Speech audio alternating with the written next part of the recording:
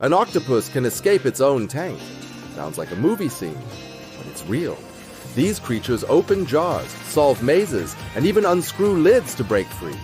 But the wildest part is how they do it. Research suggests octopuses are as smart as some mammals.